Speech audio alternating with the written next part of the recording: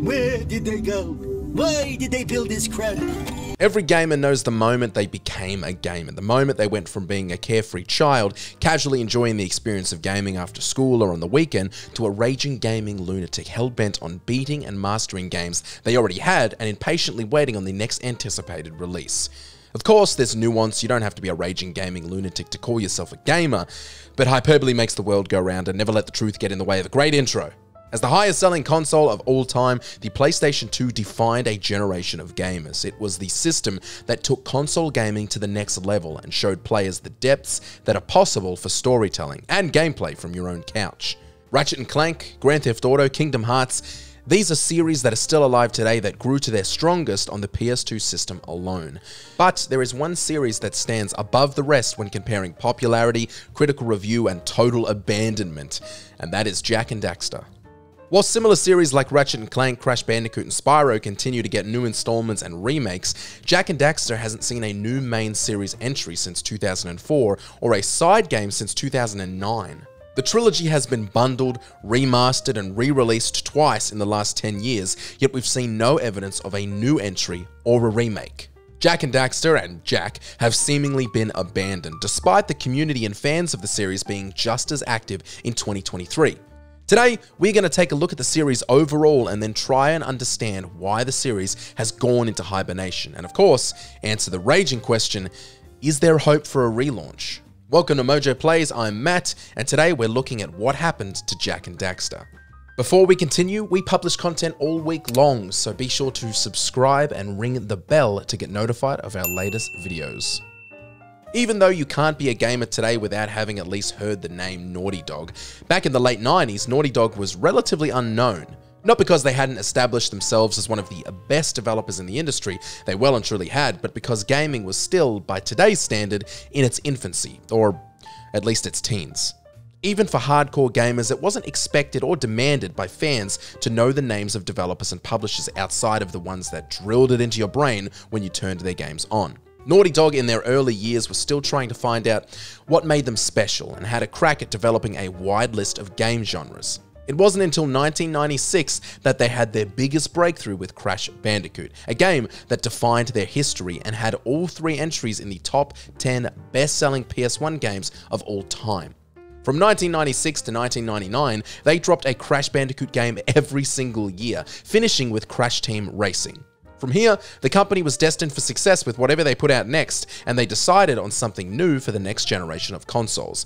Jak and Daxter, the precursor legacy on the PS2. It's worth pointing out that although Crash Bandicoot defined an era of 3D platforming, it was completely outshone by Mario 64 on the Nintendo 64. This almost instant competition trampling from Nintendo forced Naughty Dog to look at how they approached 3D platforming moving forward, as non-linear level design seemed to be the way of the future. Evan Wells was a game designer for Jak and Daxter and up until his retirement this year was co-president alongside names like Neil Druckmann and sole president for a time since the year 2005. Wells has explained that during the early development stages of Jak and Daxter, before they even knew what they were working on, the team wanted to create a completely seamless experience with no loading screens. This focus on removing loading from the game was to allow for no break in the action and to make for a complete and non-stop immersion. With a dynamic day-night cycle, beautiful graphics, and no loading screens, Jak and Daxter was not only Naughty Dog's best game at the time, but it was one of the most advanced and ahead of its time games to ever be made. The story of Jak and Daxter centers around Jak, a voiceless teenage protagonist as he tries to assist his friend Daxter, who, after falling into a vat of dark eco, undergoes a transformation into an Ottsel, a fictional blend of an otter and a weasel. Man, that stung! I told you we shouldn't have come here, and you listened! What? Guided by Samos the Sage, an expert in the enigmatic energy known as Eco, originating from the ancient race called the Precursors, Jak and Daxter discover the difficult task of rescuing their world from the rogue sages Gol and Maia. The malevolent duo aims to unleash Dark Eco onto the world, and as we saw with Daxter, it has the capability to corrupt everything it comes into contact with.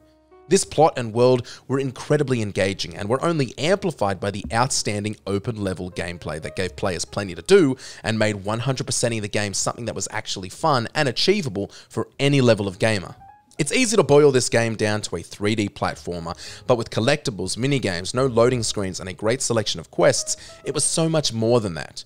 The public reception was beyond exceptional, and it took home its share of awards across multiple gaming awards shows. It was universally adored and set up the series for an inevitable sequel, which came just under two years later. During the later end of 2001, when Jak and Daxter was released, a relatively unknown game dropped on the scene that slightly impacted the trajectory of gaming for years to come. You may have heard of it Grand Theft Auto 3. Of course, you've heard of it, and the reason you've heard of it is because it was freaking awesome. I enjoyed it, you enjoyed it, and you know who else enjoyed it? Many Naughty Dog developers. A focus group conducted by Naughty Dog yielded results that showed the majority of gamers, including gamers who were only 8 years old, preferred games with a more mature tone, and that platformers were possibly destined to be pushed out of popularity. This led to the inevitable discussion of do we continue this series after the massive success of our first game, or do we start something new and gritty? Well, why not do both? Because of their love for the series and the characters they'd created, Naughty Dog decided to continue with the series but give it a darker tone, a grittier atmosphere, and give Jak one of the most substantial character changes we've seen across the entire history of gaming. After defeating Gol and Maia and uncovering a mysterious object, Jak and Daxter team up with Samos the Green Sage to observe Keira as she tests an ancient artifact called the Rift Rider.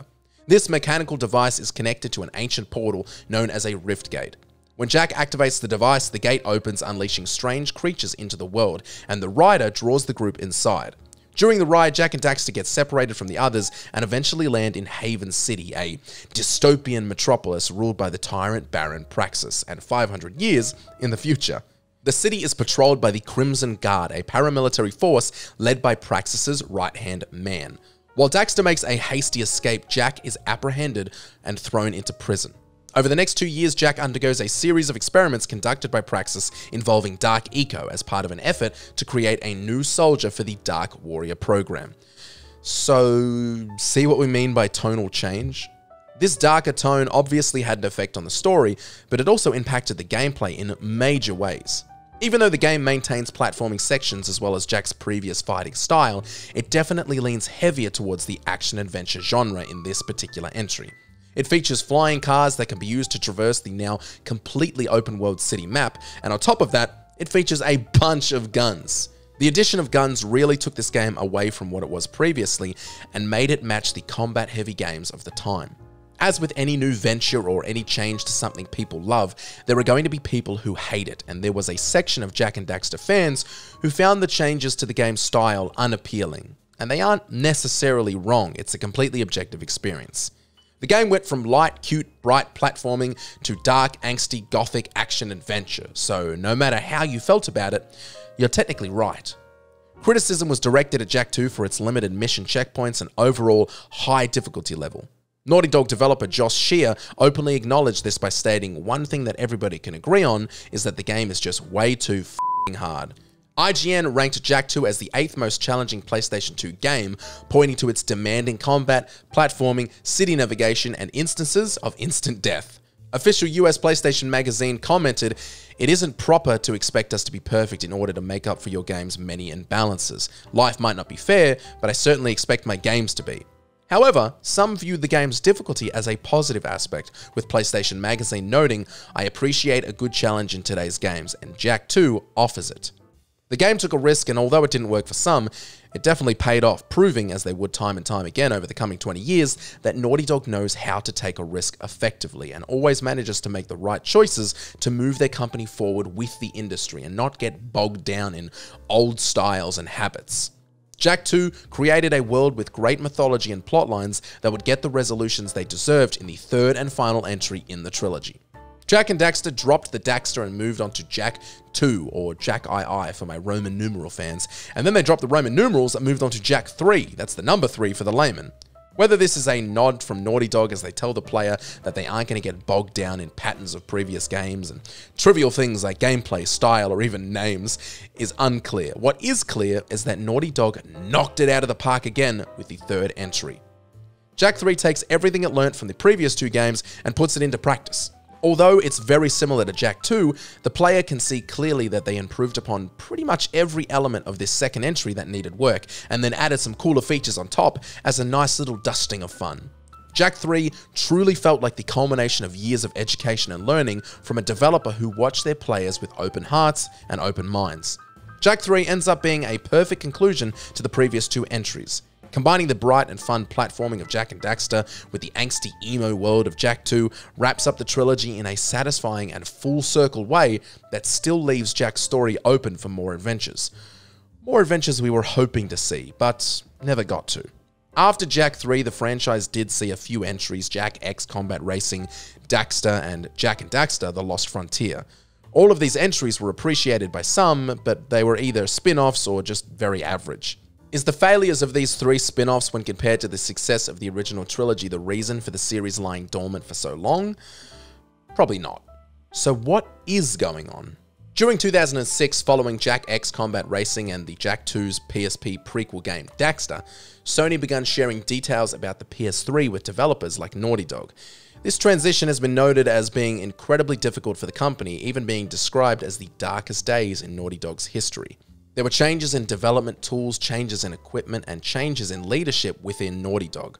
This put the company in a position that felt very unstable and unsecure. We know when Naughty Dog has their back against the wall, they work hard and take risks, and they always move with the times. With these new tools in their hands and gamers leaning more towards linear story driven adventures, Naughty Dog did what they do best and got to work. The original plan, as it is documented, was to reconfigure Jak again and try and update the game and story to this new linear story driven style. Unfortunately, after already doing it once between Jak and Daxter and Jak 2, they seemed to struggle making this round block fit into this square hole and instead opted on developing a new IP for this style of gameplay. Thus, Uncharted was born. Uncharted, just like Crash Bandicoot, just like Jak and Daxter, and just like everything Naughty Dog touches, was a smash hit. And while Naughty Dog had their eyes on that IP, Jak and Daxter began to fall further and further to the wayside. That was until 2009 when the Jak and Daxter property was entrusted to High Impact Games. Remember the Jak and Daxter game we mentioned before, Jak and Daxter The Lost Frontier? Well, that was what came out of all of this handballing, and it was unfortunately not that good. Naughty Dog claims that they couldn't develop Uncharted and Jak and Daxter at the same time, so instead of putting their baby to sleep while they watched their other kid, they handed it off to the weird guy across the street. And now look what happened. You got a dead baby. Nobody wants a dead baby. Naughty Dog have made it clear that they were unhappy with the way they handled the Jak and Daxter series after handing the property off. They were not happy with The Lost Frontier being the final game in the series, and in 2010 they spent about a year working on a way to bring Jak into a more realistic and modern world, with an entry expected to be titled Jak 4. With their goal to make Jak more contemporary, they realized early on in development that this approach to the series wasn't going to work, and it wasn't happening, and it needed to stop. Naughty Dog was stuck between two worlds of wanting to make a game they truly wanted to make, something new and something cool, whilst also respecting the legacy and themes set up by the games that came previous. Once they realized this development approach wasn't going to work for Jak and Daxter, they again moved on to a new series and left Jak to sit in the stinky fart that was The Lost Frontier. Apart from whispers of a film adaptation in the works, Jak and Daxter has remained untouched and gathered dust since 2009, and with Naughty Dog having moved on to The Last of Us as their main focus as a company, it's difficult to imagine we'll see a new Jak adventure developed by them anytime soon. It's easy to answer the question of what happened, though, as the information has weirdly been readily available since 2010. The game just didn't manage to pull focus. Naughty Dog had a lot of love for the series, but in attempts to update the game to modern audiences twice since the trilogy, they realized they might be doing a disservice to fans by forcing themselves to do something. So it sits dormant until someone at Naughty Dog has a breakthrough with how to adapt the game in 2023. Did The Lost Frontier kill the series? No, the game still has a massive fan base, and Naughty Dog themselves still love the franchise, with both sides agreeing that The Lost Frontier never happened. Was the trilogy always intended to be the whole story? No, the trilogy was beloved and respected by gamers and became the trilogy as time went on, not as it was released. With the rise in third party studios remaking games with major success, it's not out of the realm of possibility that Naughty Dog might handball the IP off to another group to handle a floor to ceiling remake of the original trilogy, especially following the success of the Crash Bandicoot remakes. But at this point in time, all we can do is hope. Until next time, Mojo Plays, Now go and collect 150 precursor orbs. Did you enjoy this video?